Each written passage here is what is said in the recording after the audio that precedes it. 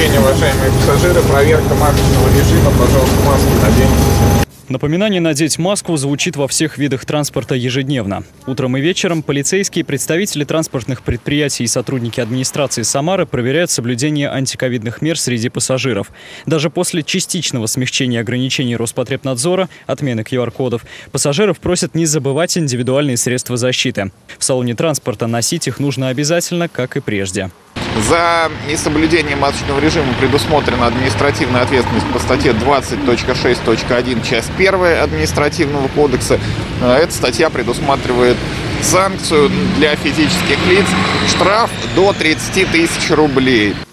В составе межведомственной комиссии и сотрудники контрольно-ревизионных служб предприятий-перевозчиков. Они прежде всего проверяют наличие проездных билетов у пассажиров, а также как кондуктора и водители выполняют свою работу, в том числе касающуюся ковид-ограничений.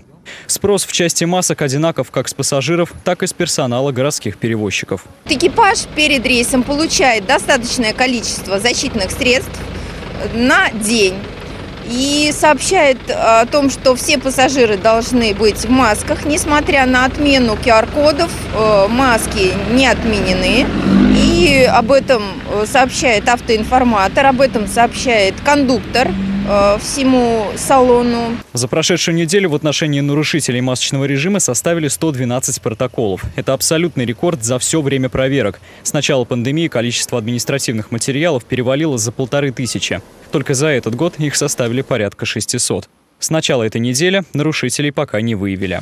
Михаил Ермоленко, Григорий Плешаков. События.